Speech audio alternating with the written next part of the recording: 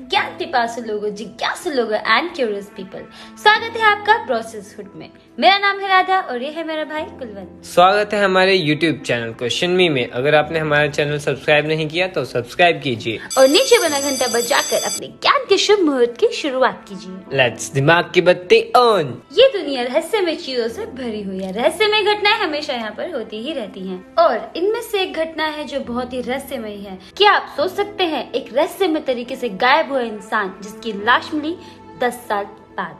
वो भी एक सुपरमार्केट में।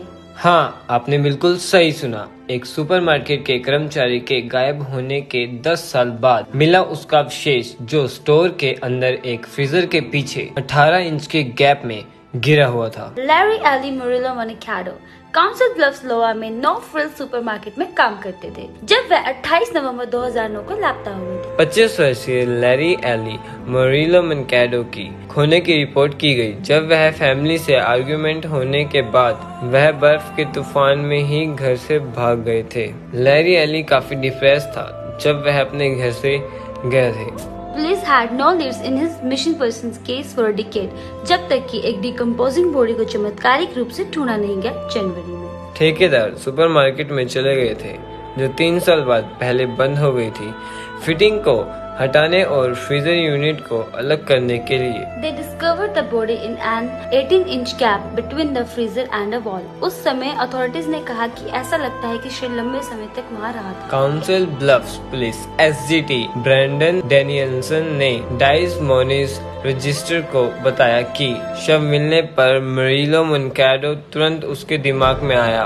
डीएनए टेस्टिंग के लिए रिमेन्स यानी उनके बचे हुए अवशेष भेजे गए थे। और पुलिस ने केवल पुष्टि की है कि यह मुरिलो मनकैडो के हैं। They compared the remains to DNA from Murilo Mancato. एक शव परीक्षण में ट्रामा का कोई संकेत नहीं दिखा और Murillo Moncada has since been ruled by an accident police अब मानती है कि मुरुला मनखारो अपने माता पिता के साथ बहस के बाद स्टोर में गए और फ्रीजर के ऊपर चढ़ गए वे कहते हैं कि फ्रीजर के पीछे गैप के बीच 12 फीट गिरने के बाद वह फंस गया। सुपरमार्केट में पूर्व कर्मचारियों ने पुलिस को बताया कि कर्मचारियों के लिए फ्रीजर के ऊपर चढ़ना असामान्य नहीं था because the space was often used as storage. The sound of the freezer could have drowned out any cries for help, according to SGT Danielson. Danielson ने कहा कि यहाँ इतनी ज़ोर से आवाज़ है कि शायद किसी ने उसे कभी नहीं सुना होगा कई पूर्व दुकानदारों का कहना है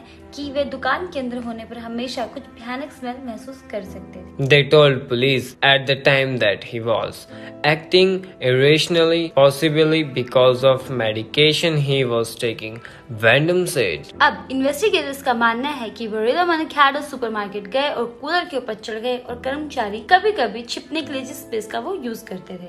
When they want to take an unofficial break Murillo Moncada wasn't scheduled to work that day so fellow employees didn't know he was there. Obviously, मदद के लिए उनका रोना अनआंसर्ड हो गया क्योंकि कूलर के कंप्रेसर के शोर में आवाज़ बाहर नहीं आई होगी डेनियलसन ने CNN एफिलिएट के ई टीवी को बताया कि यह उन अनयूजुअल केसेस में एक है जिन्हें विभाग ने निपटाया है You don't hear about these types of cases people found in vaults. He said, we have missing person cases all the time, but this is just unique. Police say they have now closed the cold case investigation. तो आपको क्या लगता है इस इंसान को बचाया जा सकता था क्या आखिर इसमें किसकी गलती थी कर्मचारियों की या सुपरमार्केट्स ओनर्स की आप मुझे कमेंट्स करके ज़रूर बताइए। तो जैसे कि आप जानते हैं चैनल का नाम है question me you can question us any time आपकी क्यूरियोसिटी को दूर करने के लिए ही तो आए हैं हम। अगर आपको हमारा चैनल पसंद आया है तो। शेयर कीजिए लाइक कीजिए एंड सब्सक्राइब कीजिए। और हमारा साथ दीजिए।